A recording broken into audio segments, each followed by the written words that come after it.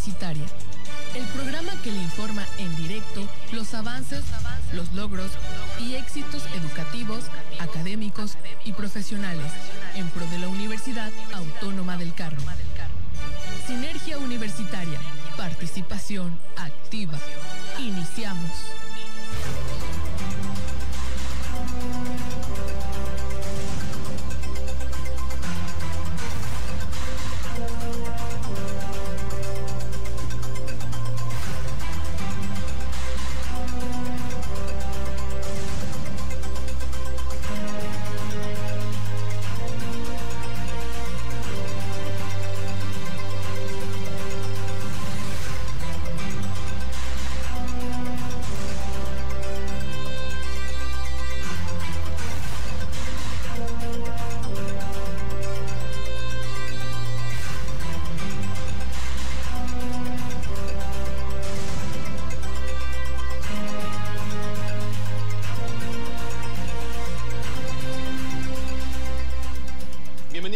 Más de Sinergia Universitaria, el programa que nos acerca a los protagonistas de la Universidad Autónoma del Carmen. Le saluda Oscar Bulfrano Aguilar en sana distancia en esta emisión que estamos realizando en directo este sábado, sábado 8 de agosto del 2020. Saludo a nuestros invitados del día de hoy, al rector de nuestra casa de estudios, al doctor José Antonio Ruz Hernández. Doctor, ¿cómo le va? Buenos días. Muy buenos días, Oscar.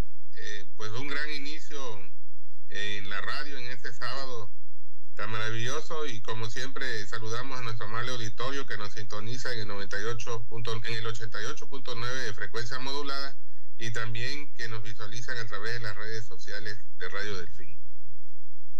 Bien, también saludamos al doctor José Luis Rullán Lara, quien es secretario académico de nuestra casa de estudios. Doctor, bienvenido.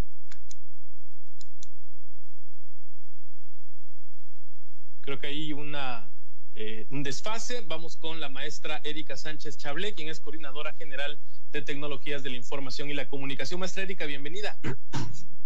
Gracias, Oscar. Muy buenos días a todos los que nos acompañan esta mañana a través de la frecuencia de radio, de nuestras redes sociales y por supuesto pues a ustedes nos toca convivir el día de hoy en esta hermosa mañana.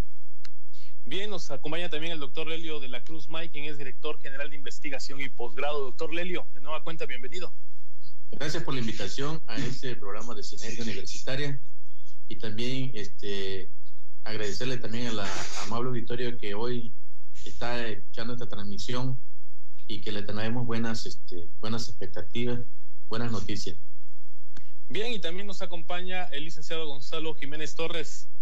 Gonzalo, bienvenido. ¿Qué tal, Oscar? Gracias, gracias por la invitación y como dicen, bonito sábado. Vamos a iniciar con este, con buenas noticias. Muy bien, doctor. Pues bueno, ha sido una semana en donde la primera, por supuesto, del mes de agosto, que ha habido pues también mucho movimiento por parte de eh, la parte eh, académica en el caso de los logros del trabajo que se está realizando en el, en el aspecto académico. Claro que sí, licenciado Oscar. Bueno, esta semana se realizó la aplicación del examen de la licenciatura en medicina en su modalidad virtual y como ya habíamos anunciado desde, desde los inicios y a mediados del mes de julio, de que a raíz de que se tomaron las decisiones de aceptar a todos ¿no? en las licenciaturas eh, que ofrece la universidad, a todos los que habían completado su proceso de preinscripción, excepto el programa de la licenciatura en medicina, donde pues por disposiciones también del, sector salud y por la propia capacidad que se tiene en ese aspecto, ahí sí era necesario realizar un proceso de selección muy, muy bien definido, por lo que este pasado 30 de julio un total de 305 aspirantes de los 317 que se habían preinscrito presentaron examen virtual de admisión para la licenciatura en medicina y el examen virtual se presentó a través de la plataforma institucional ABA. Tuvo una duración de dos horas. Los, los aspirantes recibieron apoyo técnico a través de un chat que se habilitó para poder apoyarles en ese sentido. Un chat pues bastante exitoso, ¿no? Que estuvo atendiendo desde antes, durante y, y durante el examen, durante esa aplicación, para dar esa asistencia que algunos estudiantes requerían eh, pues vía correo electrónico y por vía telefónica. Eh, después de esta aplicación, el examen, se escogieron los 120 aspirantes que hayan tenido los más altos puntajes. Y bueno, estos iniciaron ya el pasado miércoles con un curso propedéutico. Y este curso propedéutico consiste en el desarrollo de cinco asignaturas donde pues los alumnos que tengan los mejores resultados en estas cinco asignaturas, eh, los primeros 75 o los que tengan estos mejores promedios serán los aceptados para su ingreso a la licenciatura en medicina. Obviamente, eh, pues no solamente importa el resultado en el curso virtual, sino también la entrevista que tengan que realizar eh, con los integrantes del Comité de Selección del Programa Educativo de Medicina. El programa educativo de la licenciatura en medicina es un programa que siempre ha tenido un proceso de selección distinto al de las otras licenciaturas. Sabemos que son programas que no solamente en la UNACAR, sino en otras instituciones hermanas como la UJAR, la UACAM y la propia Universidad Autónoma de Yucatán tienen una alta demanda y solamente pues se tiene capacidad para aceptar a algunos. Y, y para hacer toda esta aceptación pues se requiere tener los mejores estándares porque debemos recordar que los que aspiran a ser médicos pues no trabajan con abstracciones ni con máquinas ni con ni con reparar computadoras por ejemplo sino trabajan con seres humanos.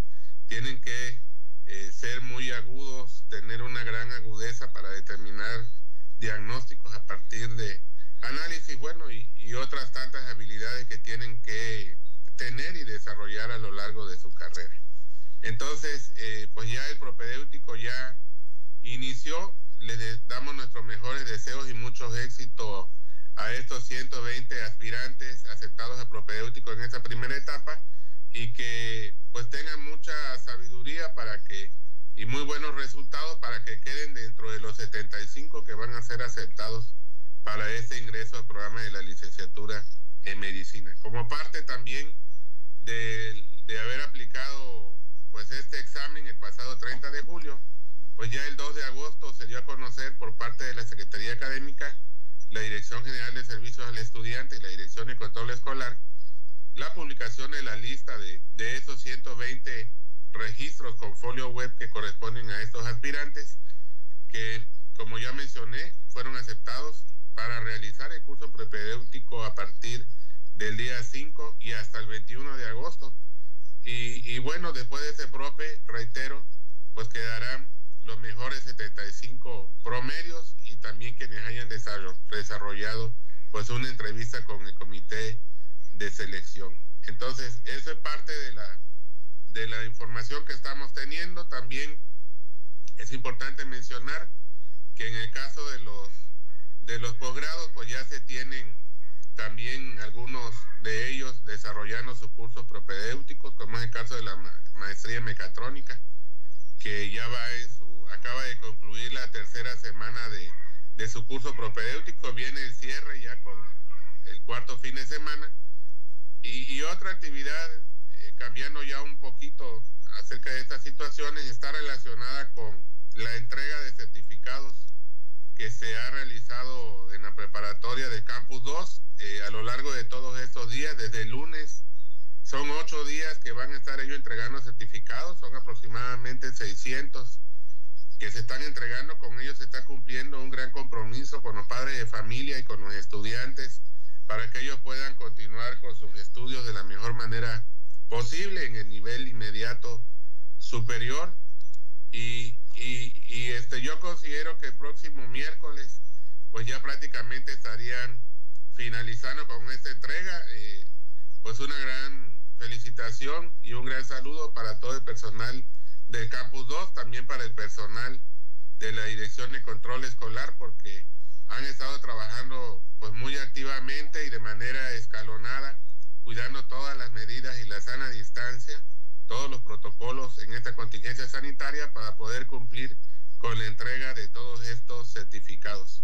En, el caso de Campus Abancuy, pues también se han estado entregando los certificados, eh, se entregaron 72 allá eh, pues la cantidad es menor, ¿no? Pero se ocuparon dos días también para, para poder realizar esta entrega y cumplir también con el con, con esta información del campus Abancuy. Y este así que vaya una felicitación también para estos 72 egresados que tenemos de del campus Abancuy que recibieron sus diplomas y también entregaron sus constancias a todos estos alumnos y sus certificados el pasado día 5 y el 6 de agosto. Se entregaron diplomas a los tres mejores promedios por parte de la directora, la maestra Carolina Rivero Inclán, quien también le dio una calurosa felicitación. Le dijo que al concluir su bachillerato demuestran un gran logro de las competencias necesarias para poder destacar en el ámbito académico. Muchos de ellos van a continuar sus estudios eh, tanto en la UNACAR como en otras instituciones. Y bueno, los mejores promedios de esta generación, a quienes también enviamos una felicitación, fueron Guadalupe Rejón Aguilar en primer lugar con un promedio de 95.39. En segundo lugar, Jesús Francisco Orcín García con un promedio de 93.79. Y en tercer lugar, Reina Guadalupe Caché Pérez con un promedio de 92.68. Para todos estos jóvenes egresados, eh, fue una gran satisfacción haber alcanzado una de sus metas, terminar el nivel medio superior y siendo los mejores promedios de esta generación 25 a lo largo de estos tres años que tuvieron un gran desempeño académico y se les deseen mejores los éxitos no solamente a ellos, sino a todos quienes concluyeron con estos estudios y las puertas de la UNACAR, como saben, estarán siempre abiertas para esperarlos y poder continuar superándose a través del estudio. Como dije, varios de ellos continuarán con nosotros en alguna licenciatura. Y bueno, nosotros lo que les recomendamos y un servidor también es que jamás renuncien al ideal de ser mejores, a seguirse superando, porque cada uno de, de, ustedes allá en el campus Abancuy, estos egresados son el reflejo de la juventud actual que aún tiene aspiraciones de victoria para seguir adelante y que los motiva el aprendizaje y en esos momentos el futuro es nuestro presente y de nosotros depende cumplir con los objetivos y metas que plantea esta nueva normalidad. Así que vaya un caluroso abrazo y de nueva cuenta una gran felicitación para todos estos 72 jóvenes que acaban de concluir su bachillerato en el campus Abancuy y por supuesto un saludo a todo el personal académico y a todo el personal administrativo de este gran campus encabezado por la maestra Carolina Rivero Inclán, que es la directora de esta escuela preparatoria. Entonces, pues esos son los temas académicos, licenciado Oscar, que, que vamos teniendo. Hay otros que, que son también muy importantes resaltar. Este, para cerrar ya con, con esta parte del, del programa, bueno, reiteramos también nuestra felicitación a la directora de la Facultad de Ciencias de la Salud, a los gestores, a los docentes y a los estudiantes de los programas educativos de la licenciatura en nutrición y de la licenciatura en fisioterapia de nuestra institución por lograr el reconocimiento como un programa de calidad por parte de los comités interinstitucionales para evaluación en la educación superior, CIES, con una acreditación que tiene una vigencia de tres años. De igual forma, lo hacemos al personal directivo, administrativo y operativo que colabora en las gestiones para hacer de este un programa de calidad, gestión logrado gracias al trabajo realizado bajo la coordinación y dirección de la titular de planeación y del personal que la conforma en su departamento, de, en su área de evaluación y acreditación, que también trabajan de la mano con los gestores y todo el personal en las facultades para que estos logros pues se puedan dar de la mejor manera posible.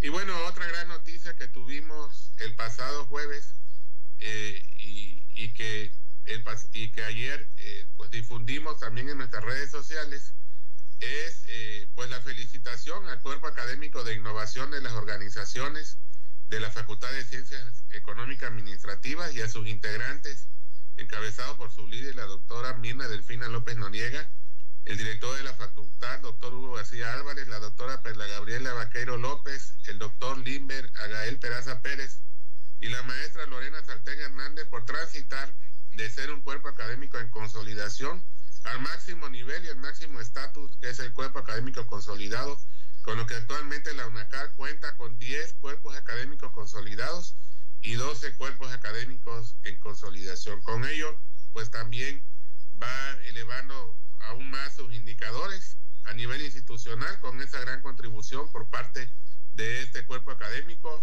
a quienes le enviamos también un caluroso abrazo y por supuesto un gran saludo y una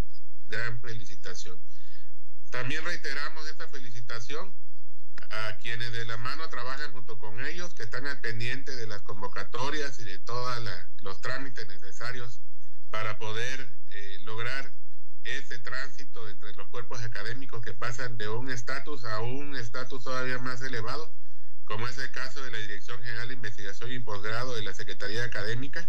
Aquí está el doctor Lelio con nosotros en ese programa, el doctor Lelio de la Cruz May, quien es precisamente el director general de investigación y posgrado, a quien felicitamos también junto con su personal por ese importante logro en beneficio de los estándares de calidad de nuestra institución. Muy bien, doctor, pues ya se integra con nosotros el eh, doctor José Luis Rullán Lara, quien es secretario académico. Eh, estuvimos hablando en la primera eh, parte de este programa precisamente sobre la aplicación de los exámenes en el caso de inglés y, bueno, todo lo que, lo que se está desarrollando también por parte de la universidad en el tema de los, o que se desarrolló más bien con los estudiantes que van a ingresar a la licenciatura en medicina. Saludo de nueva cuenta al secretario académico de nuestra Casa de Estudios. Doctor José Luis, bienvenido.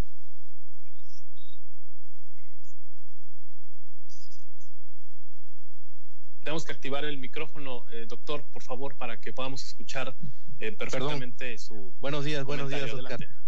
Buenos días, Oscar. Muchas gracias por la invitación. Este, sí, en efecto, esta semana fue una semana de bastante trabajo. Bueno, desde el regreso de, a nuestro ciclo, ciclo de trabajo.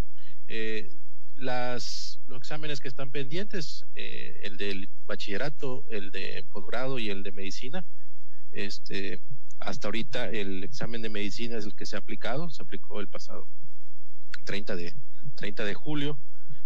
Se dieron los resultados el, domingo 2 de, 2 de agosto para eh, pues, anunciarle a todos los muchachos que hayan pasado ese examen para incorporarse al, curso propedéutico ¿no? que se está realizando. Ya el rector eh, mencionó eh, un poco sobre el proceso.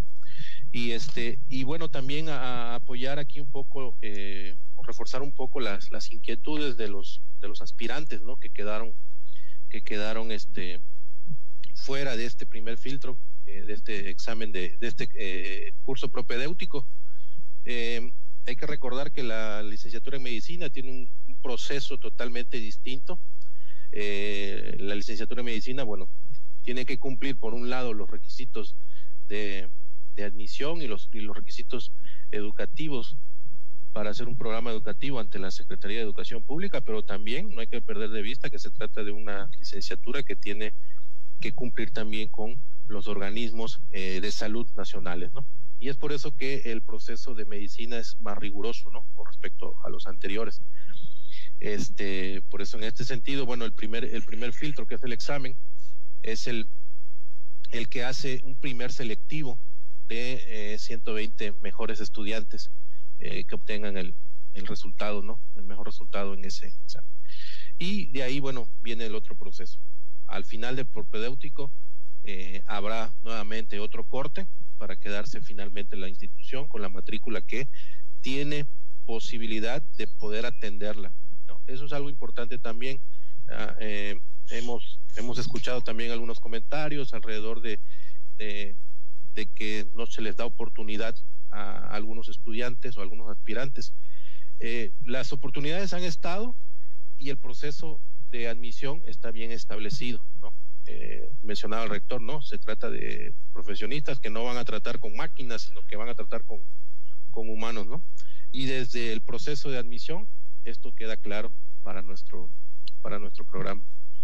Eh, también hay que mencionar que a nivel nacional esta, esta, esta carrera de medicina es una de las más, de las más demandadas, ¿no? Si hacemos el, la verificación en cada una de las escuelas públicas, de las universidades públicas, incluso las privadas, la carrera de medicina es una de las que está muy saturada, ¿no? Muy saturada, todos quieren ser médicos, tienen una una, aspiración, pero finalmente el proceso de admisión lo que busca es eh, pues aceptar únicamente aquellos que por vocación logren ¿no? logren pasar todas las pruebas que se, que se tienen. Por eso también que era importante hacer saber a, a, los aspirantes, ¿no? No es una situación este, unilateral. Este, este proceso que está establecido ahorita se ha estado realizando desde que la carrera de medicina inició en la Universidad Autónoma del Carmen.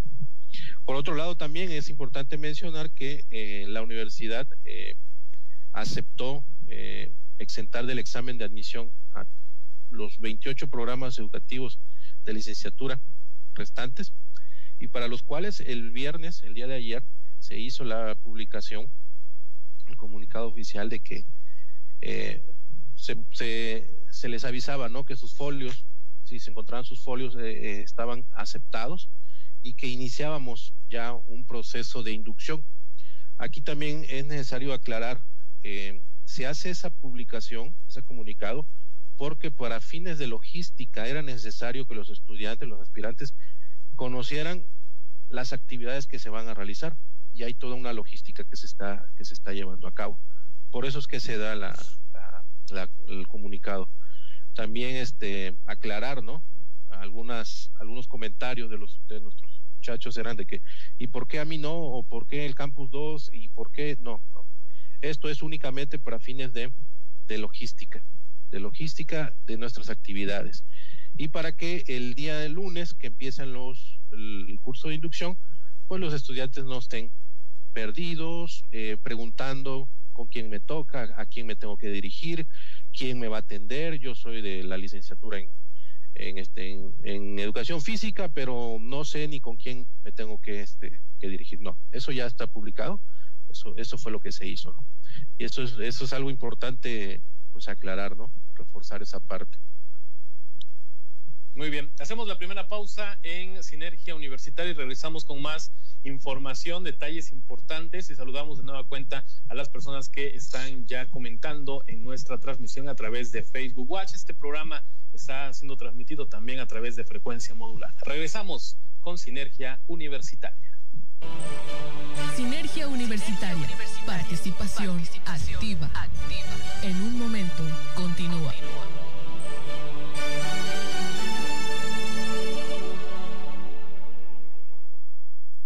Durante esta pandemia y después de ella, el mundo necesitará la democracia para vivir en paz. Las niñas, niños y adolescentes de hoy serán las y los adultos del futuro. Ofrecerles valores democráticos significa poner el futuro en buenas manos. Consulta en INE.mx videos y libros gratuitos para desarrollar su cultura cívica y valores democráticos. La democracia y la participación empiezan en casa. Contamos todas, contamos todos. INE logramos una inversión récord en caminos cosechas, pozos y jagüeyes, que incrementan tanto la productividad como el valor de nuestros cultivos. Casi dos millones de toneladas producidas es muestra que vamos por buen camino. También los puertos nos fortalecen. Carmen es el puerto petrolero más importante del país, con más de 16.000 arribos en 2019, un 17% más que el año anterior. Y Ceiba Playa es ya una base estratégica de Pemex. En Campeche, impulsamos con decisión el crecimiento económico. Quinto informe de gobierno. Carlos Miguel Aiza González, Poder Ejecutivo del Estado de Campeche.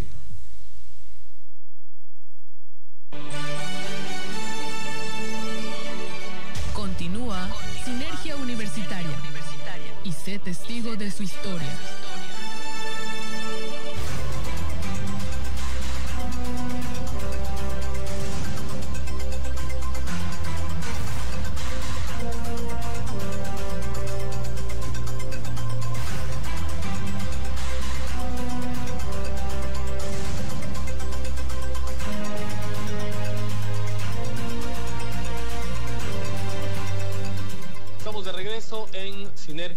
Universitaria, el programa que nos acerca a los protagonistas de la Universidad Autónoma del Carmen. Estamos transmitiendo a través de FM en el 88.9 MHz, también por supuesto a través de dos de nuestras plataformas digitales, streaming en audio en www.radiodelfin.unacar.mx, nuestro portal y en Facebook Watch en Facebook Muchísimas gracias a las personas que nos están sintonizando, que ya están reaccionando también a través de Facebook y quienes están comentando en un momento más haremos sus comentarios al aire. Doctor, el tema, doctor Rullán, el tema de, la, de, los exámenes, eh, precisamente nos platicaba un preámbulo de este tema, se nos puede eh, concluir este, eh, pues, el contexto de lo que se está también realizando en nuestra casa de estudios.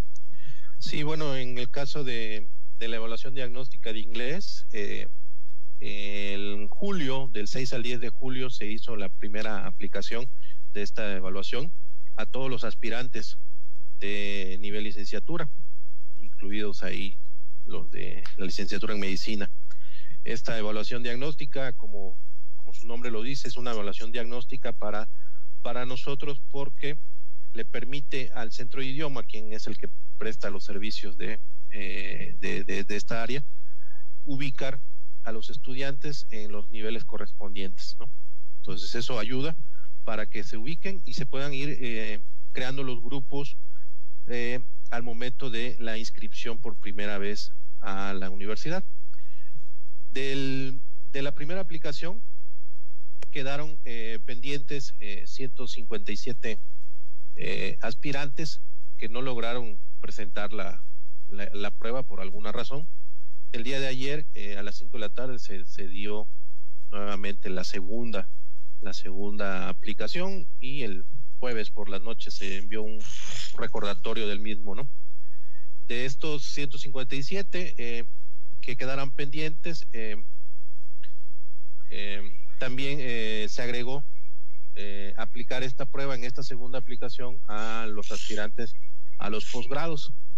Como menciono, es una, es una prueba de diagnóstico. En el caso de los posgrados, es una es una prueba que permite también conocer el nivel de, los estudiantes. En el caso de los posgrados, eh, también se les, se les tiene como requisito de ingreso demostrar la habilidad del inglés. Algunos, algunos aspirantes cuentan incluso con el reconocimiento de, alguna prueba oficial como TOEFL. Sin embargo, la prueba sirve precisamente para ir cumpliendo los requisitos y además también porque son requisitos que eh, el CONACIT exige para los programas eh, que se encuentra en el Padrón Nacional de Programas de Calidad. Eh, del informe que, tengo de, la aplicación del día de ayer, bueno, eh, hubieron algunas, algunas situaciones que se fueron atendiendo. Desafortunadamente, en algunos casos, los estudiantes no, hicieron el ingreso previo y bueno, se fueron este, atendiendo y revisando esas, esas, esas problemáticas. ¿no? Hasta el hasta el momento, bueno, cumplimos con esta prueba diagnóstica eh, para todos los aspirantes. Esa prueba, bueno, hay que recordar que es la prueba, la evaluación que eh, el rector puso a disposición de, de, la Secretaría de Educación del Estado para que pueda ser utilizada por los demás, este, las demás instituciones de educación pública. En este sentido, eh, ahora les puedo confirmar que también la Universidad Tecnológica de Calakmul también ya se hizo ya, ya, se hizo presente y, se puso en contacto con nosotros y nos han solicitado ya este, esta evaluación para, para aplicarse, ¿no? En el caso de, ellos también es una evaluación diagnóstica, a ellos les interesa también saber cómo están sus estudiantes.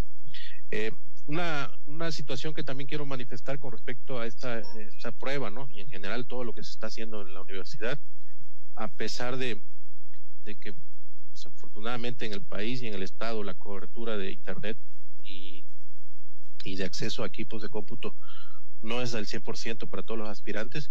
Pues creo que todos los aspirantes están haciendo el esfuerzo para no perderse esta oportunidad de, ser parte de, nuestra institución. Y eso también hay que reconocerlo. Y por otro lado, bueno, la institución también está haciendo todos los esfuerzos, ¿no? Eh, yo lo comentaba con el rector, ¿no? Hay algunas otras instituciones que he escuchado que están haciendo muchos esfuerzos para, para poder captar matrícula, pero nosotros siempre hemos eh, sido con decisiones este, pertinentes y mesuradas para poder dar el mejor servicio. Muy bien, doctor. Hay unos, unas preguntas que eh, les voy a dar lectura. Una de ellas dice, eh, buenos días, ¿dónde me comunico para saber, para saber mi grupo de bachillerato debido a que tuve problemas con mi correo? Es una de las preguntas que nos hace Alexis Jaciel Castañeda. Bueno, eh, el caso de la preparatoria, eh, los grupos se fueron creando desde hace ya una semana más o menos. Eh, para eso se les, lo que él menciona que su, correo falló, este, se les envió una comunicación a, esos correos y se esperaba que la confirmación. Si él no recibió la confirmación o si dice que falló, lo que le pedimos es que nuevamente se ponga en contacto con, este, con estas, a través de este, de este correo. No puede ser de un correo alterno o del mismo. Posiblemente si dice que falló, que revise bien si no está en correos no deseados o que revise eh, en el buzón de entrada, ¿no? Pero este creo que si, si no lo no, este, no lo ha resuelto hasta este momento, se ponga en contacto con las con las este, con, los correos. el otro puede ser eh, en, la preparatoria, puede ser al correo jsarricolea arroba delfin.unacar.mx o en control escolar con la directora de, control escolar, la maestra Elizabeth, que es eojeda, arroba delfin.unacar.mx. Muy bien, otra pregunta dice cómo se realizará el pago para el siguiente semestre. El pago, bueno, em, la Dirección de Control Escolar ahorita está llevando a cabo un proceso alterno como se dio en, en, el semestre anterior eh, para la para inscripción, perdón. Eh, se va a recibir todo por, eh, por vía, vía correo electrónico y las instrucciones de pago serán dadas a través de las de las secretarías escolares, ¿no? Lo que finalmente se va a realizar seguramente es un depósito directamente a cuenta, como se hizo en su momento, y este el estudiante deberá entregar el, pago, el comprobante de pago en esos en esos documentos que va a enviar, ¿no? Se va a emitir por parte también de la universidad, obviamente, el procedimiento para realizar esta, esta acción. Esta acción, así es. Bien, una última para continuar con el programa y en la parte final eh, terminar con los mensajes. ¿Cuándo comienzan las clases para educación a distancia y las fechas para realizar el pago de colegiatura por reinscripción? Es parte también de lo que acabamos de comentar. Bueno, eh, el calendario escolar 2021 que ya se aprobó tiene como fecha de inicio oficial para todos sus niveles el 21 de septiembre. El 21 de septiembre es la fecha en que inician los cursos, ya de manera oficial.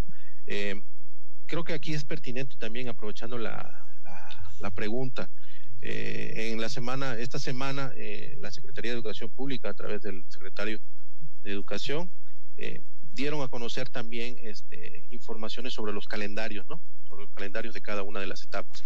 Pero también hay que recordar que eh, se mencionó que en el caso de las universidades autónomas, ellas iban a decidir y tomar las acciones para todos los procesos administrativos y académicos.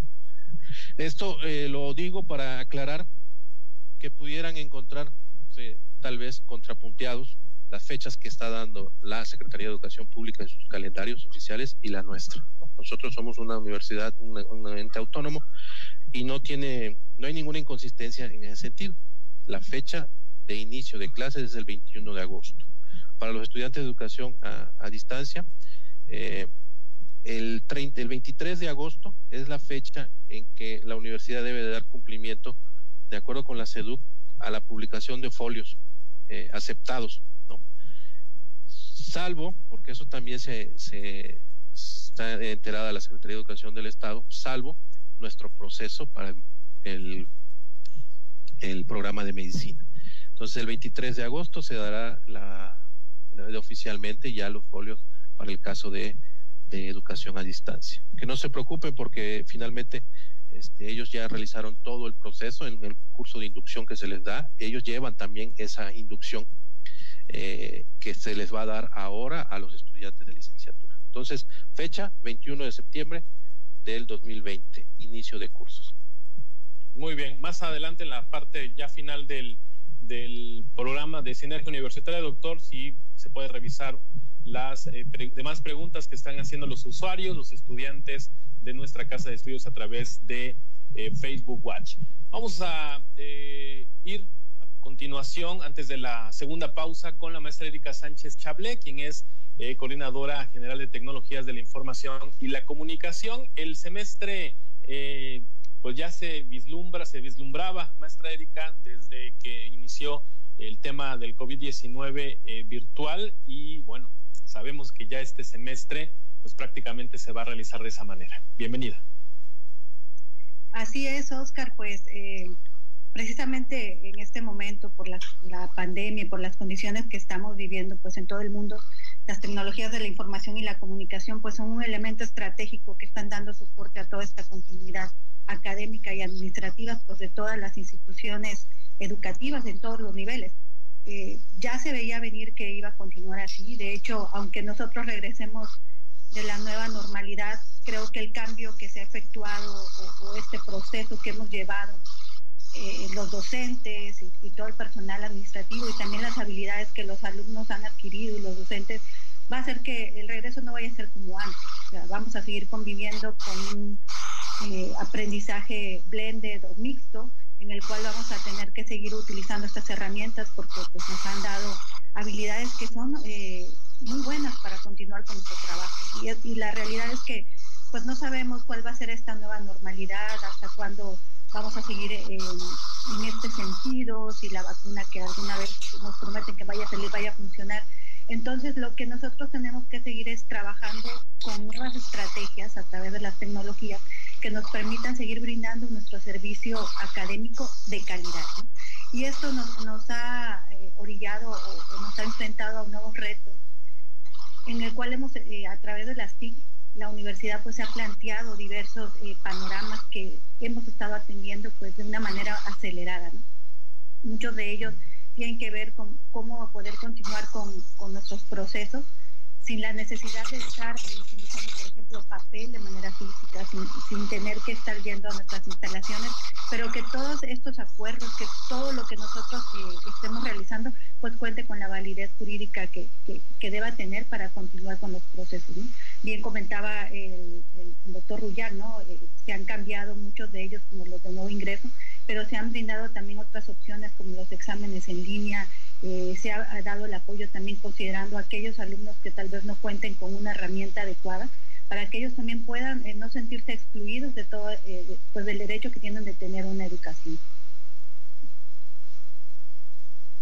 Muy bien, maestra. Vamos a hacer la segunda pausa en Sinergia Universitaria y regresamos con el tema de la capacitación, precisamente que van a recibir los estudiantes de nuevo ingreso, tanto de los niveles eh, medio superior como del superior, el nivel medio superior y superior en la universidad para pues tener sus clases y ya eh, el, esfuerzo, eh, que hay que reconocer por supuesto el esfuerzo de los profesores que están realizando y adecuando prácticamente el nuevo ciclo escolar para brindar todas sus materias en línea, completamente en línea. Con esto regresamos en Radio Delfín, en Sinergia Universitaria. Sinergia Universitaria. Participación, activa. En un momento, continúa.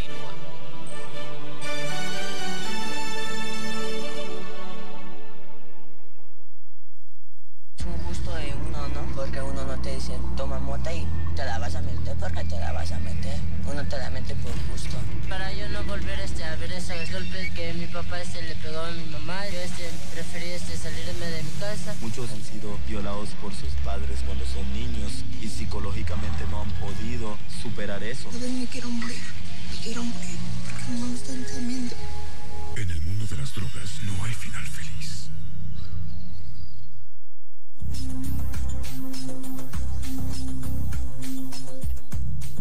Lo que debes de saber para protegerte del coronavirus COVID-19. ¿Qué debería hacer si un miembro de mi familia presenta síntomas?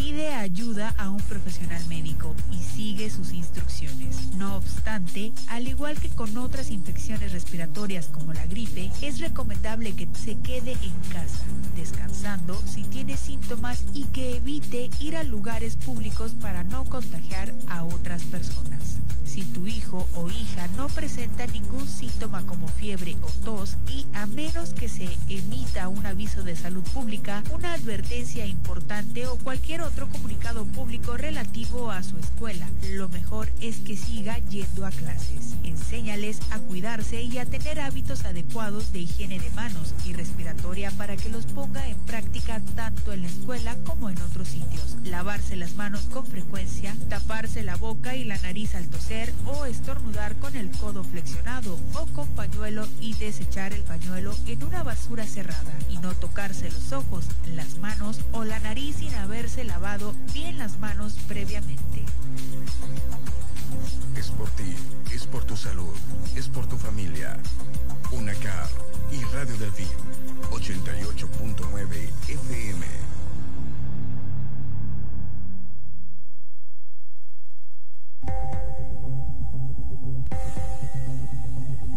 Programa que está usted escuchando es Clasificación A, contenido apto para todo público.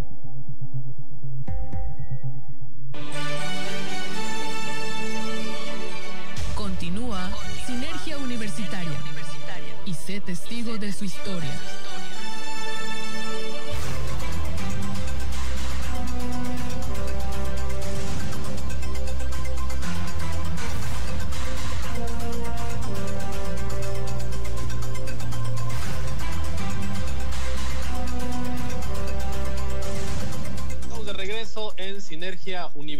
Universitaria, el programa que nos acerca a los protagonistas de la Universidad Autónoma del Carmen en sana distancia. En esta emisión nos acompaña el rector de nuestra casa de estudios, el doctor José Antonio Ruz Hernández, también el doctor José Luis Rullán Lara, quien es secretario académico, la maestra Erika Sánchez Chablé, coordinadora general de tecnologías de la información y la comunicación, el doctor Lelio de la Cruz May, quien es director general de investigación y posgrado, y por supuesto el eh, licenciado Gonzalo Jiménez Torres. Hace un, en la primera presentación no le di su cargo, él es jefe de la unidad de gestión estudiantil. Es el, el cargo, eh, el, nombramiento de este cargo, el nombre de este cargo correcto, que en un momento más platicaremos sobre las becas. Ya hay preguntas en las redes sociales sobre el tema. En un momento más eh, platicaremos precisamente sobre este tema tan importante para la comunidad universitaria.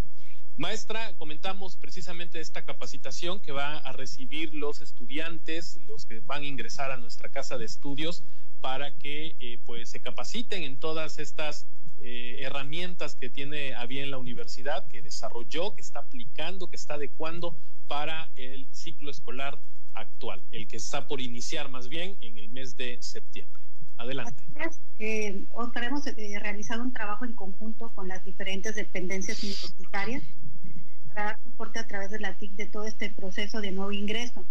Eh, en específico para los alumnos que, pues el día lunes van a estar eh, tomando ya curso de inducción, pues ellos van a usar la plataforma ABA, que es la que utilizan eh, en cuanto a educación a distancia. Sin embargo, también ya se están programando pues, lo que es la inducción a los sistemas institucionales y a los procesos, es decir, todas esas dudas que ahorita tienen y que han estado preguntando como cómo vamos a pagar, van a hacer la entrega de la documentación para ser unos alumnos formalmente inscritos, pues se van a disipar eh, en la inducción que ya se les está preparando, la cual va a ser a través de la plataforma Teams y en donde pues los aspirantes y sus papás también van a estar pues eh, invitados para que puedan escuchar todo lo que las diferentes áreas traen para comentarles y sobre todo para que despejen esas dudas que, que actualmente tienen. También se está preparando posterior a la inducción eh, algunos webinars o seminarios para los estudiantes de nuevo ingreso, en los cuales se les va a apoyar en la capacitación del uso de la plataforma Teams, que es la plataforma que de manera institucional pues estamos nosotros utilizando para el proceso de las clases en línea y, también del uso del Office 365 para que conozcan todas las bondades que, que trae esa plataforma con el simple hecho de pertenecer a la UNACAR y contar con una cuenta de correo institucional, lo cual va a ser pues de gran ayuda a todas estas herramientas que, estamos eh, pues proveyéndoles a ellos para que puedan eh, llevar a cabo pues su formación académica. Eh, en el mismo sentido, no, no, solamente a los estudiantes de no ingresos los estamos los estaremos apoyando eh, con la capacitación, seguiremos eh, trabajando con la capacitación hacia los docentes, que son el pilar fundamental para poder llevar a buen término todas estas estrategias que se han estado implementando. tenemos por ahí en, apoyo también con la parte de docencia, un curso de aula invertida, de, diseño instruccional, que eh, ahí ya este, le corresponde al doctor Villán pues, a platicar al respecto cuando ya se hayan concretado más pues esta, estas sesiones que van a tener los docentes. Y también Existen otras áreas universitarias como lo que es Baby Delfín, que también ya traen algunos proyectos para apoyar pues a nuestros niños, de los eh, compañeros universitarios y de los alumnos que en estos momentos igual están en casa resguardados, pero a los cuales ya se les está diseñando un material que pueda ser presentado y que les apoye también para poder tomar eh, en casa pues esta serie de, talleres, ¿no? A ellos de parte de la eh, coordinación de TI les estamos dando una capacitación en el uso también de Teams, pero también en otras herramientas que les permitan crear eh, pues ese material como son videos, como son manuales, para poder llevar a buen término este proyecto que tiene la dirección de Baby del Team. Y pues la verdad es que sí ha sido un trabajo arduo de parte de la, de la parte de TI, porque también de manera simultánea también estamos trabajando con el desarrollo o, la modificación de algunos módulos que pues, se tenían o estaban pensados para hacerlo de manera presencial, ¿no? como el caso de las inscripciones, y pues se ha estado trabajando de la mano con el área de control escolar para cambiar este, este proceso adecuado pues, pues, a las nuevas eh, políticas de sana distancia y, del, teletrabajo y en el cual pues eh, prácticamente ya van a recibir noticias pronto en cómo se va a llevar este proceso. También la parte que tiene que ver con eh, la creación de minutas, incluso las actas de consejo universitario, las cuales pues ahora van a ser emitidas a través de un sistema que nos permitirá a nosotros generar eh, firmas de manera electrónica sin la necesidad de tener que estar eh, asistiendo o imprimiendo un papel para poder este, firmarla de manera autógrafa, lo que también nos permite pues cuidar lo que es la salud de cada uno de los colaboradores institucionales y son eh, bastantes eh, iniciativas que traemos y que muy pronto pues van a ser ya liberadas de manera oficial y pues estaremos aquí visitando o estando en algún programa para explicarles a detalle.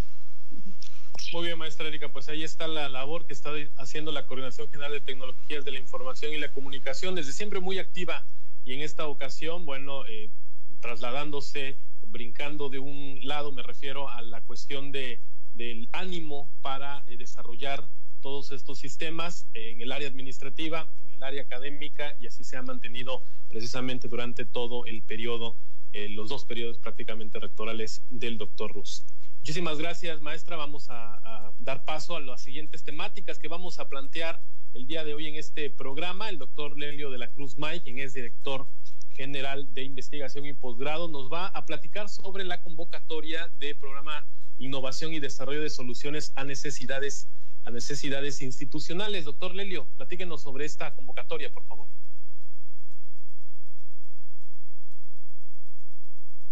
Desactive su micrófono para que le podamos escuchar, doctor.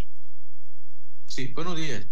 Adelante. Eh, quiero comenzar la, la plática sobre este programa de innovación y desarrollo de soluciones a necesidades institucionales, mencionando que la Universidad Autónoma del Carmen destina recursos para la investigación Actualmente, en cuanto a investigadores, este, tenemos un porcentaje de 24% de nuestros profesores con el nombramiento del Sistema Nacional de Investigadores.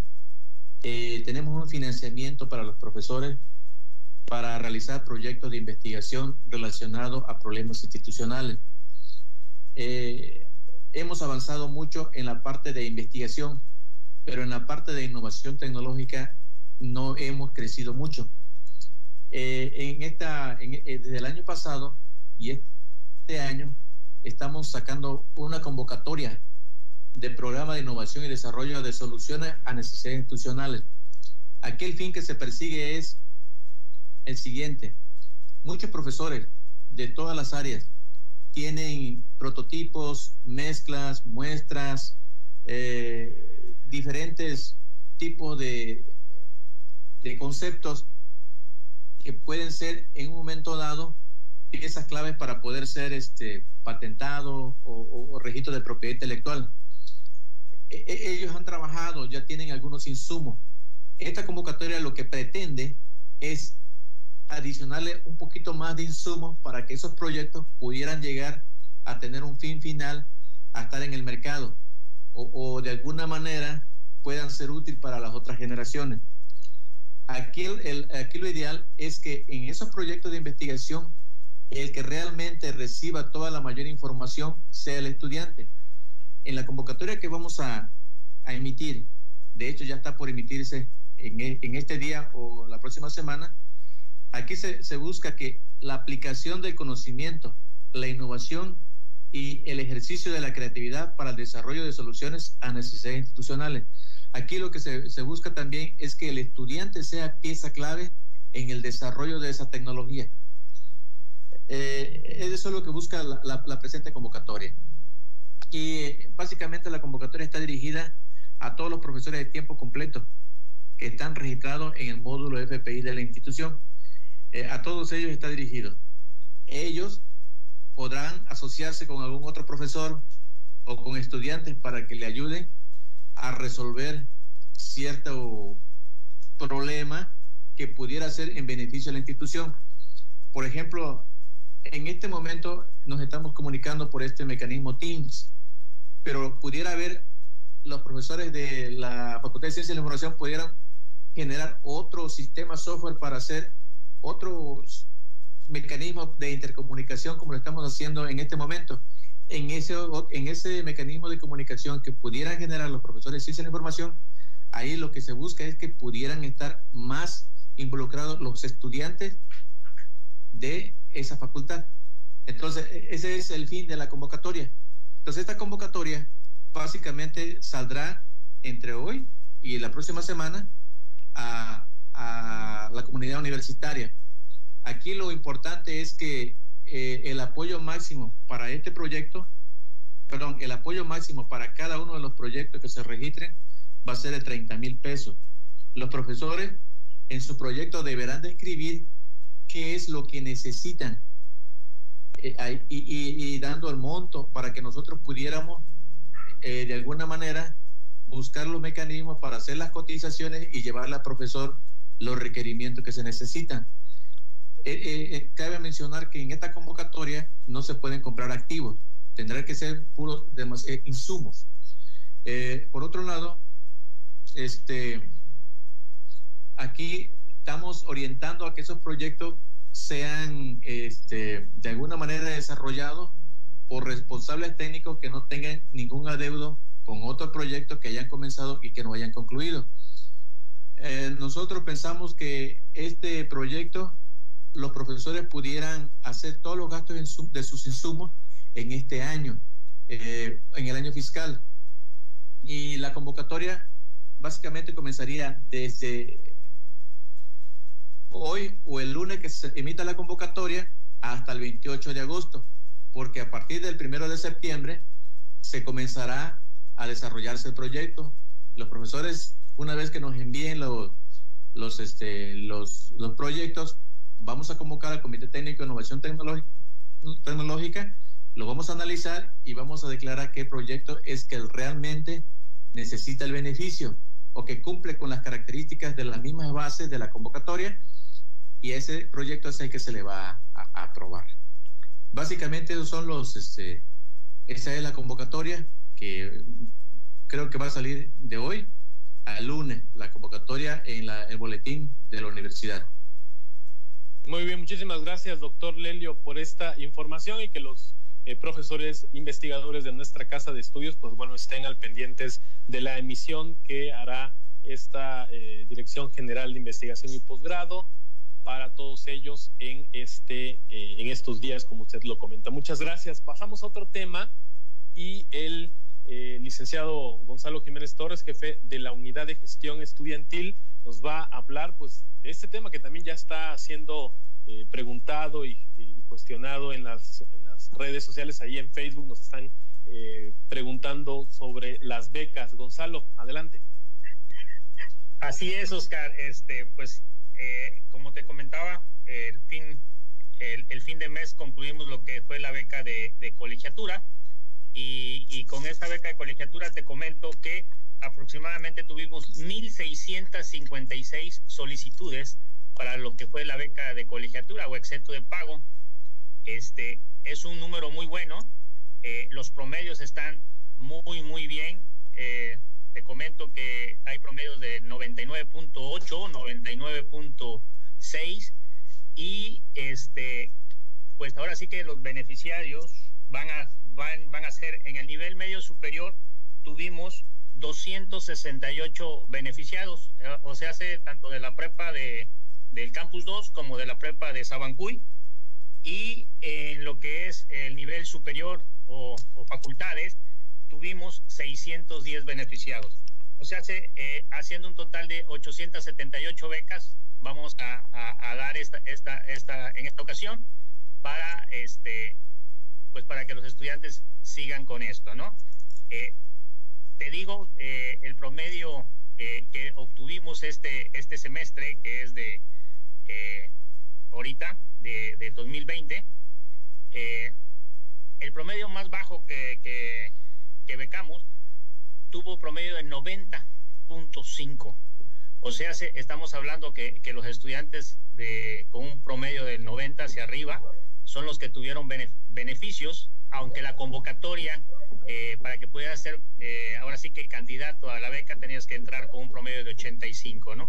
Pero bueno, este, esto se estipula porque, bueno, se tiene que becar más o menos el 10% de nuestra matrícula, que es lo que nos marcan los estándares, y este y pues cortamos y el último fue 90.5 este y te digo tenemos promedio de 99 99.8 en facultad y 99.4 en prepa. Entonces eh, nos da gusto de que los estudiantes día con día vayan este pues ahora sí que teniendo mejores promedios y que este pues las solicitudes han ido aumentando. Te digo, 1.656 solicitudes para este semestre en cuanto a la beca es un número considerable este, atendiendo esta, esta solicitud. Eh, es lo que tenemos.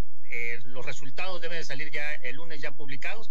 Si podemos hoy por ahí, este, se los pasamos para que también lo, tengan, pero ya oficialmente ya el, lunes deben de estar ya en la página.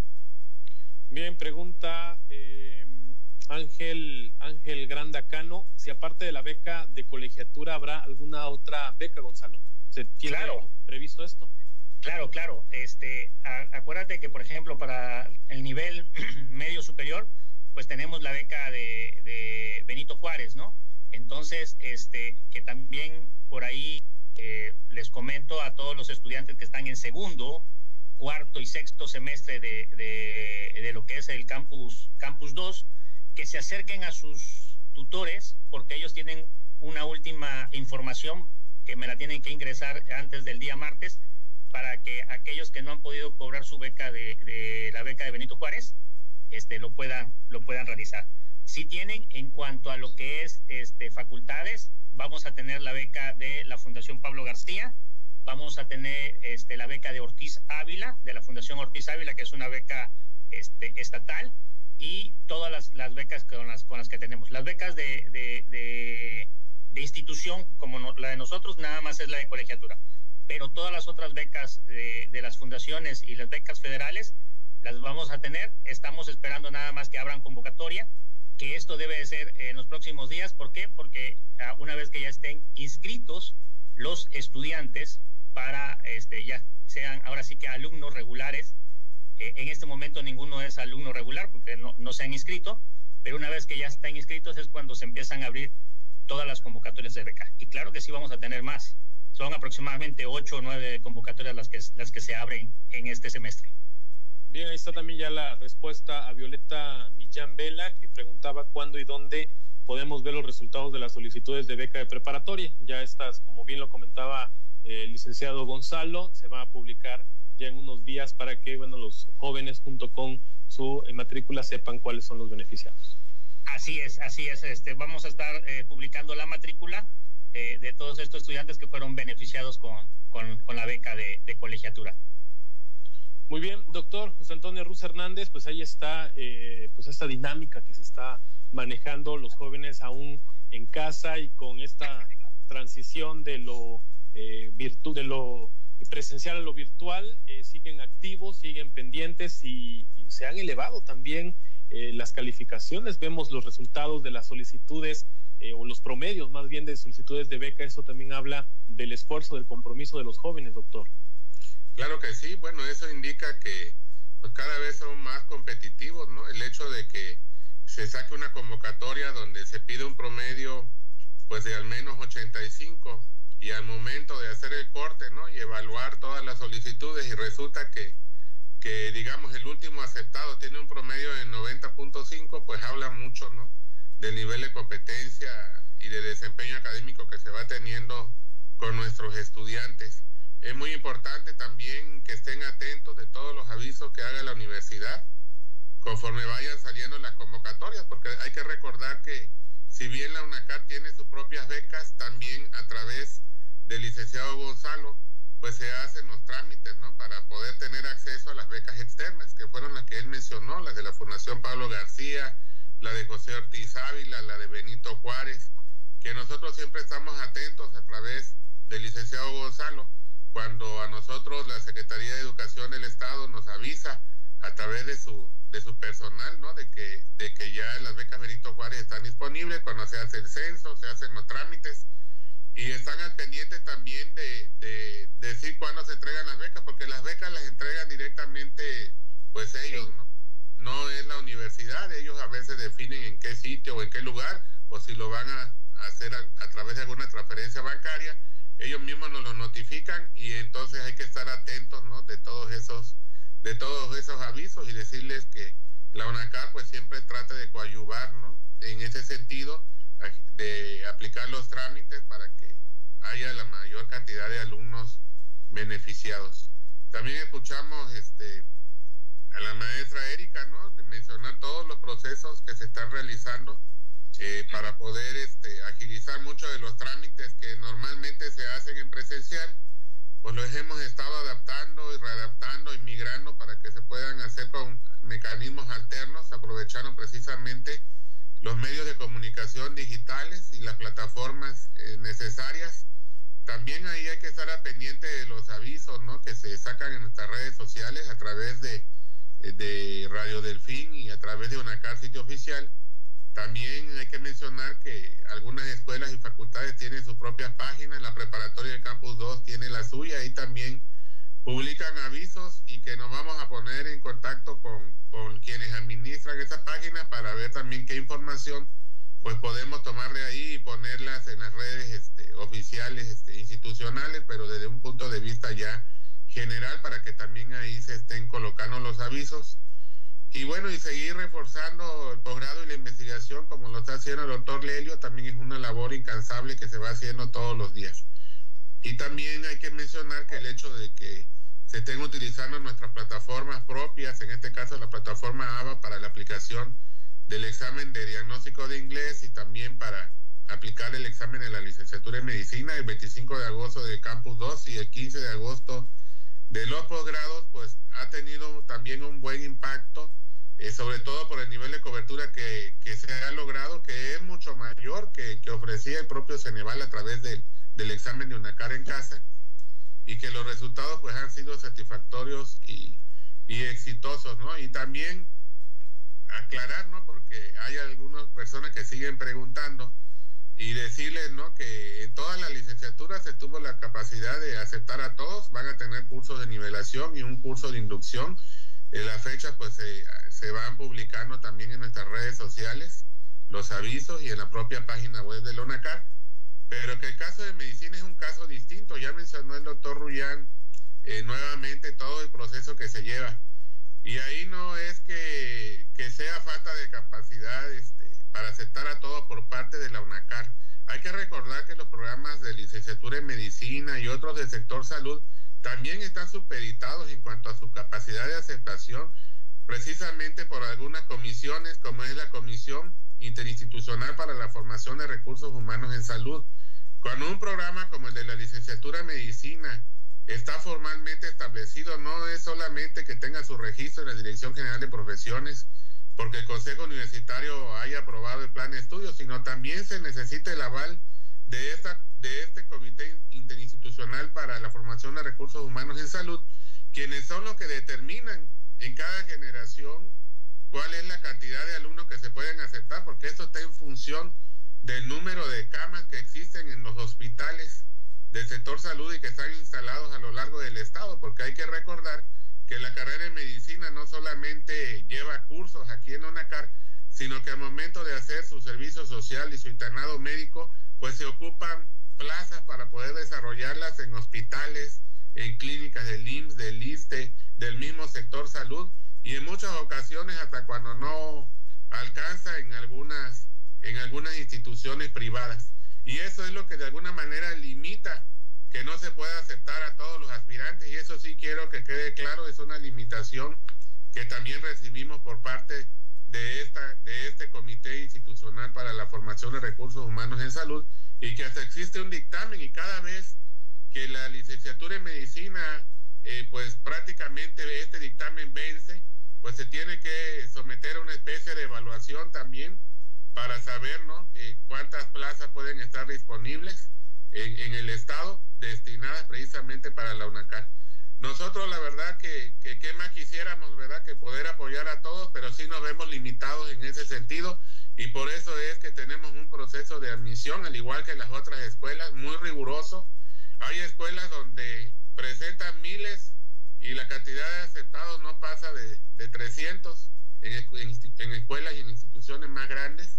Aquí mismo en la península tenemos una gran demanda en todas las instituciones y bueno, siempre la cantidad de aceptados pues está limitada precisamente porque todos tienen que eh, tener ese aval ¿no? en cuanto a la cantidad de plazas disponibles en cada generación, eh, por esos comités interinstitucionales para la formación de recursos humanos en salud. Entonces, no tiene que ver tanto con la capacidad instalada en la UNACAR, sino también con la capacidad instalada por el sector salud a todo lo largo y ancho del Estado. Y eso es lo que determina la cantidad de alumnos que nosotros podemos admitir en cada generación. Muy bien, hay una pregunta para el... Eh, para Gonzalo es eh, de Oriana Prieto. Los nuevos, los, los nuevos ingresos o licenciatura pueden optar a las becas o debemos estudiar un semestre antes de optar a alguna beca, Gonzalo. Ok, la beca de colegiatura, que es la beca institucional de la, de la UNACAR, sí tienen que estudiar con nosotros un semestre pero para las becas externas, para las becas de las fundaciones y para las becas federales, eh, ellos pueden ser este, candidatos. No necesitan este, haber estudiado con nosotros algún semestre, sino pueden, ahorita que se abra la convocatoria, ellos pueden ser candidatos este, para, para esas becas, ¿no? Estamos hablando de la beca de la Fundación, estamos hablando de la beca de José Ortiz Ávila o de la misma beca Benito Juárez. Eh, ellos son candidatos a esta beca. Muy bien, ahí está la respuesta. También para Claudia de la Cruz, que estaba preguntando si ya se dijo algo sobre las becas de colegiatura, ya se eh, comentó y pues bueno, estamos ya prácticamente para... Eh, adelante. Eh, sí, también por ahí estaba yo leyendo algún comentario que, este, que de lo de la beca de la Benito Juárez, que es la beca de nivel medio superior. Les comento a los estudiantes que se acerquen con su tutor eh, nosotros el día jueves tuvimos una reunión con los tutores de nivel medio superior en donde este, nos van a hacer un listado de aquellos estudiantes que eh, no hayan podido cobrar la beca en estos momentos. Entonces, ese listado nosotros lo vamos a pasar a la Coordinación Nacional de Becas en México para que en una semana más o menos ellos puedan ya estar cobrando sus becas. Eh, lo único que les solicitamos es que se acerquen o, le manden algún mensaje a su tutor para que ellos le digan las indicaciones que tienen que seguir. Por favorcito. Bien, esa es la pregunta que hacía Axel Palomo Gómez en nuestro eh, eh, chat. También dice, tengo una duda, mandé correo al señor encargado de becas para solicitar ayuda para la beca Bienestar Azteca. Ah, bueno, y es la, también la respuesta de Julio, de Julio López. Y pues bueno, estamos ya prácticamente por terminar esta emisión de Sinergia Universitaria. Doctor José Luis Rullán Lara, ¿algo más que desea agregar o contestar alguna de las preguntas también de, nuestros, eh, de nuestra audiencia el día de hoy?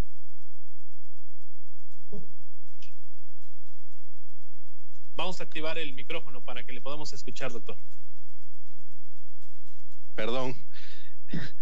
Este, les decía que estaba yo este, leyendo los, los comentarios de, de los muchachos, ¿no?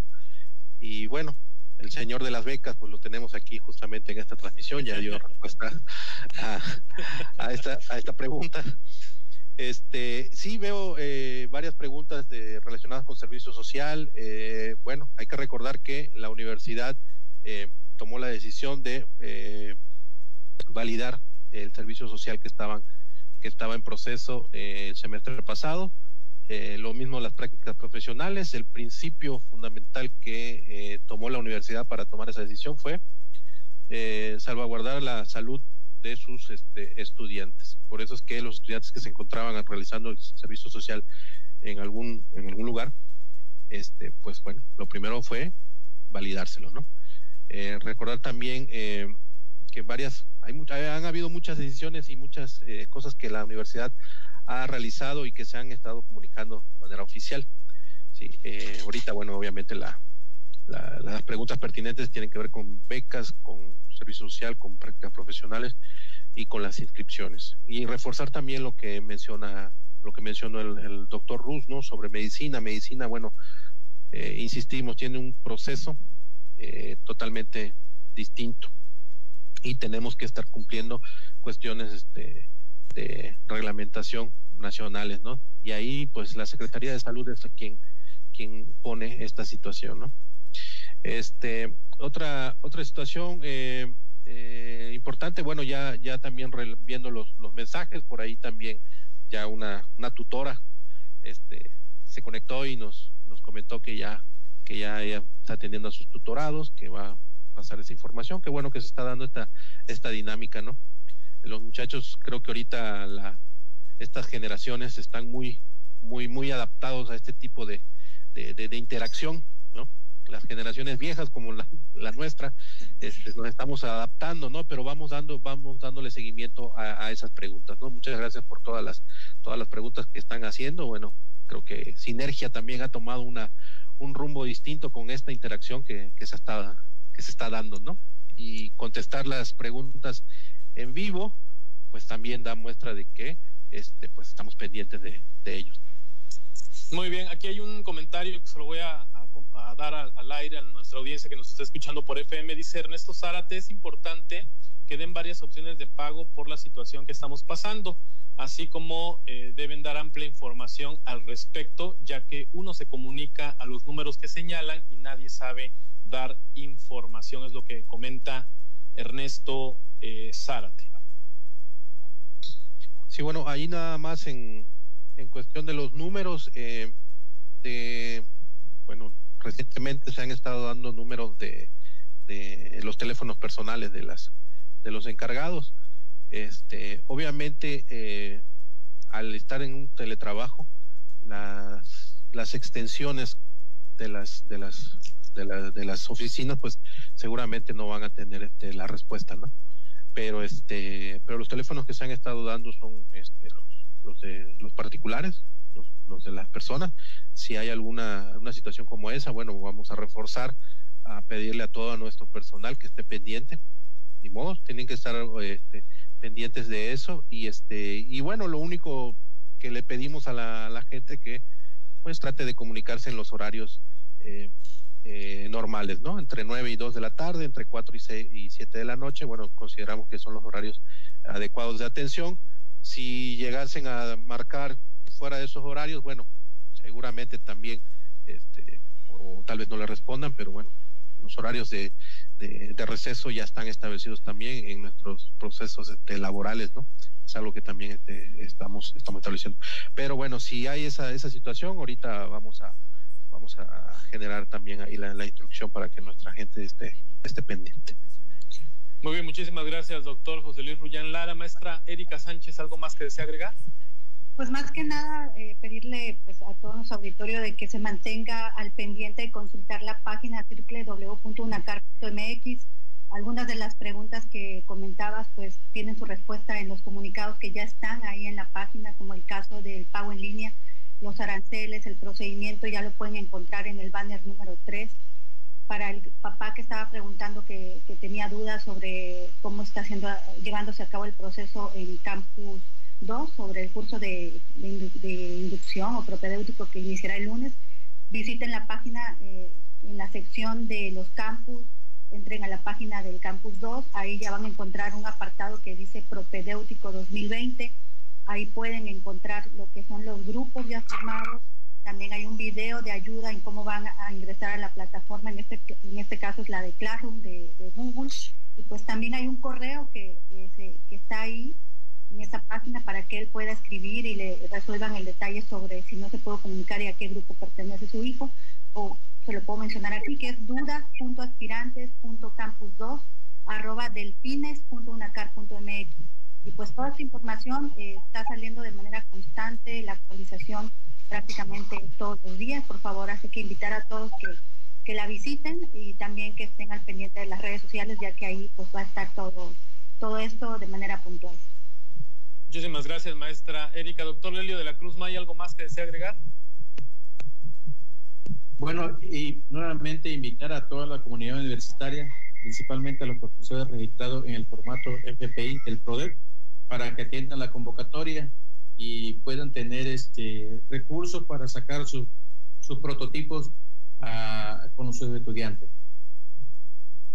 Bien, muchísimas gracias. Gonzalo Jiménez Torres, ¿algo más que desees agregar? Sí, Oscar, pues eh, ahora sí que atendiendo algunas preguntas tanto de servicio como de prácticas profesionales, comentarle a los estudiantes que estén, como decía la maestra Erika, que estén al pendiente de, nuestras, este, ahora sí que nuestras eh, páginas oficiales o nuestras redes.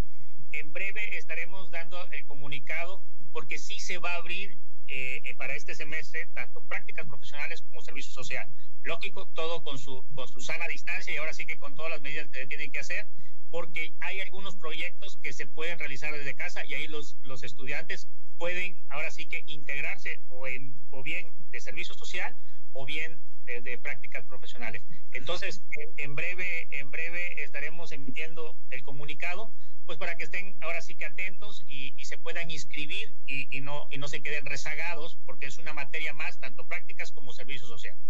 Gracias. muchísimas gracias, muchísimas gracias al jefe de la unidad de gestión estudiantil. Me tengo que aprender ese cargo para poder comentarlo de manera fácil. Jefe de la unidad de gestión estudiantil, el licenciado Gonzalo Jiménez Torres. Doctor, llegamos al final, doctor Ruz, llegamos al final de una emisión más de Sinergia Universitaria con bastante interacción. Sí, la verdad que nos, nos da mucho gusto que, que haya habido bastante interacción. Este, pues por motivos, ¿no? De, principalmente de la tormenta eléctrica que, hubo eh, a mediados de semana, fue que no pudimos estar en el horario habitual, que es los miércoles en punto de las 11 de la mañana, pero pues el día de hoy, eh, temprano, en este sábado, hemos tenido muy buena audiencia y eso también nos da mucho gusto y sobre todo porque pues nos da la oportunidad de, de poder atenderle de mejor manera cuando la audiencia interactúa con nosotros. Eh, quiero aprovechar este antes ya de terminar la transmisión para comentar que la UNACAR a través de la Dirección de Difusión Cultural eh, quiere también que este verano los pequeños se diviertan en grande, por lo cual se les invita a inscribirse al curso de verano virtual, el cual comienza este día 10 y finaliza el 21 de agosto. Los informes e inscripciones los pueden eh, checar y revisar con ndomínguez.delfín.unacar.mx que corresponde al correo electrónico de la licenciada Nasli Domínguez Encalada. Entonces, pues ahí está también la invitación.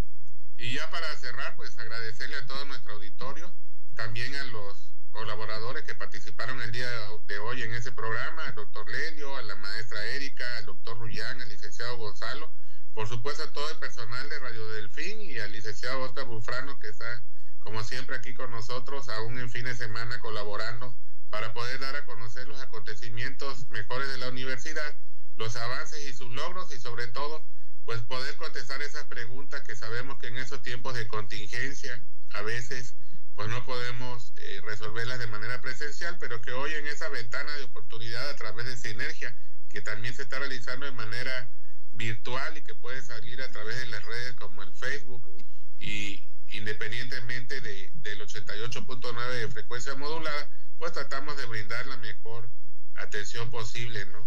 A través de este, de este espacio. Y por supuesto, eh, pues decirle que nuestro compromiso es seguir eh, adelante con ese proyecto de institución, con ese gran proyecto educativo de educación media superior y superior, que es la Universidad Autónoma del Carmen, y decirles a toda la comunidad universitaria, a los aspirantes, que estén pendientes de los avisos en nuestras redes sociales, tanto de Radio Delfín como de UNACAR sitio oficial, y por supuesto de la página web de la UNACAR, ya el ingeniero Erika pues, nos hizo también el, el favor de decir dónde están los banners que pueden aclarar mucho de sus dudas.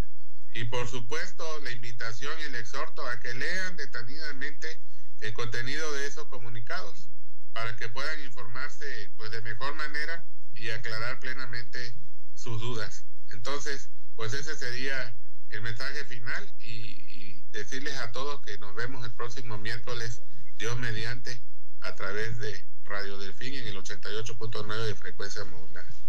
Bien, muchísimas gracias, doctor. Gracias a todos nuestros invitados de hoy, a la maestra Erika, al doctor José Luis Ruyan Lara, al doctor Lelio y también a Gonzalo por esta participación en Sinergia Universitaria. Muchísimas gracias también a la, al apoyo de comunicación social y a la Oficina de Gestión de la Rectoría. Muchas gracias al equipo de Radio Delfín, como siempre, allá en controles a Carlos Canepa de la Cruz en el Liceo Carmelita. Se despide Oscar Bulfrano Aguilar, pásela bien, tenga un excelente sábado y nos encontramos de nueva cuenta en el programa que nos acerca a los protagonistas de la Universidad Autónoma del Carmen. Hasta pronto.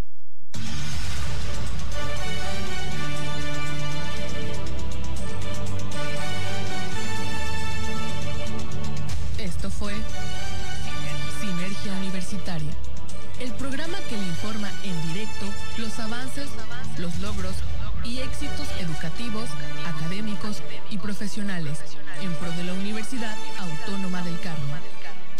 Sinergia Universitaria, participación activa.